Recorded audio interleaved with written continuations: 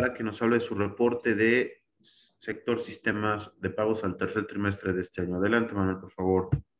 Gracias, Armando, y buenas tardes a todos. Sí, realizamos la semana pasada un reporte sectorial sobre el, sector sistemas de pagos, en los que incluimos un análisis sobre las principales eh, métricas operativas y financieras de Mastercard, Visa, American Express, PayPal Holdings y Block. Eh, de estas cinco empresas, primero analizamos los niveles de rentabilidad de cada una de ellas. me ayudas con la gráfica 1, por favor, Armando.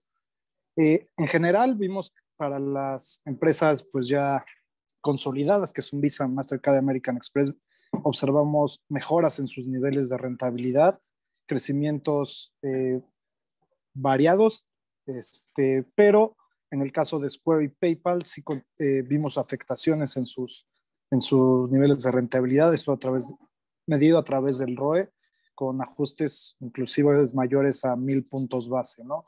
Esto se debe a que las utilidades, eh, la utilidad neta se vio afectada por fuertes crecimientos en gastos operativos y para el caso de Square también, pues en su costo de ventas. Este, eh, podemos ver, observar que Mastercard es la empresa con el ROE más alto dentro del sector. Esto principalmente se ve beneficiado por un bajo nivel de capital debido a que pues sus eh, están financiados principalmente por deuda.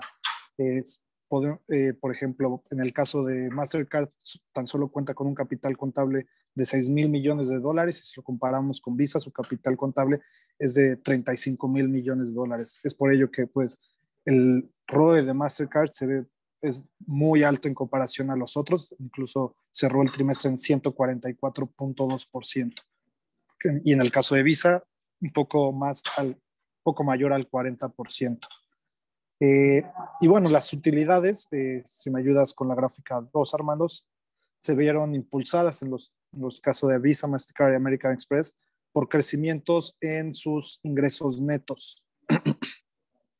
Eh, esto ocurrió debido a que se vio un aumento en el número de, de transacciones, también en las transacciones transfronterizas, que estas son que haz de cuenta productos emitidos en México, realizan compras en Estados Unidos, ¿no? Entonces, estas transacciones transfronterizas están teniendo igual crecimientos cercanos al 30%.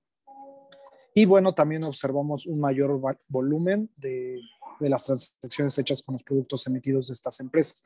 O en el caso de PayPal y, y Square, eh, utilizando sus, sus plataformas para realizar estos, estas transacciones.